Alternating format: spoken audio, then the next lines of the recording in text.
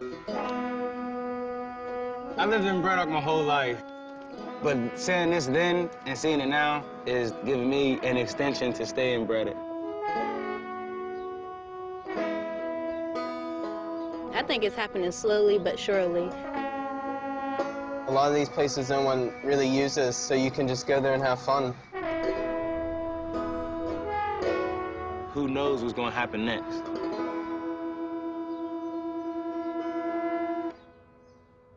When I was a kid, I always wanted to be a soldier. No, no matter what, I always had my goal set on to be a soldier. And uh, I didn't want to pack parachutes, and I didn't want to drive the trucks. I always wanted to do the fighting, so eventually that came in my future. I ended up involved with these streets and selling drugs and things like that is when we moved from California, my parents did meth and everything was good. The rent was paid and things like that. We just, me and my, my brother and sisters got in a lot of trouble, so we ended up getting evicted. And then we came out here and they started smoking crack and everything fell apart.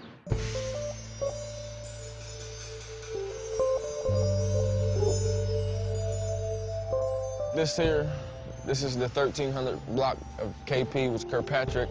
And then here, this is where I did a lot of my hanging out, and there was a lot of drugs done, a lot of shootings things that, that we had to do to survive and stuff like that.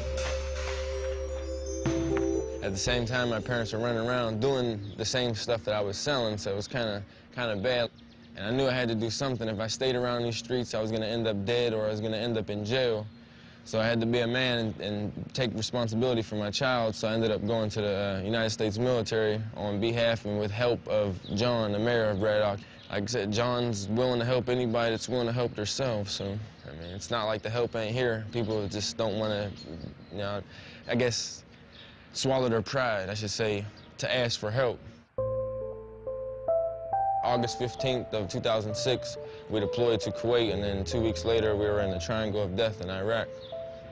And uh, it was actually a blessing when I got out. It just kind of helped me change my mind. It helped me get on that right path again.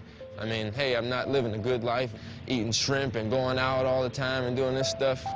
But I still have fun. I mean, I still get to, I get to enjoy my child's life. And I miss that with my daughter being in Iraq.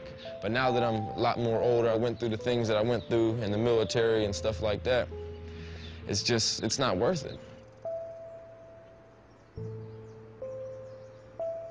Where everybody wants to be a hustler, everybody wants to be a drug dealer, when everybody should think about maybe I want to be a lawyer, or maybe I want to be this, or maybe I want to be that. But if I only make $12,000 a year, I'm still happier with that than making $200,000 a year selling drugs because take my life away, I'll never see my kids again. And people don't think about that type of stuff when they're doing it, and I didn't think about it either. Uh, my biggest dream for the future is just to see my kids grow up, both of them just grow up and be healthy and graduate high school because Nobody in my family, still to this day, has, that I know of, has ever graduated high school. And hopefully, I mean, hopefully carry on there and go from there and go to college and just, you know, have good jobs and be able to maintain their lives. So like, it's like a dream for it, or I can go and get it. So, I mean, basically, I'm gonna go and get it.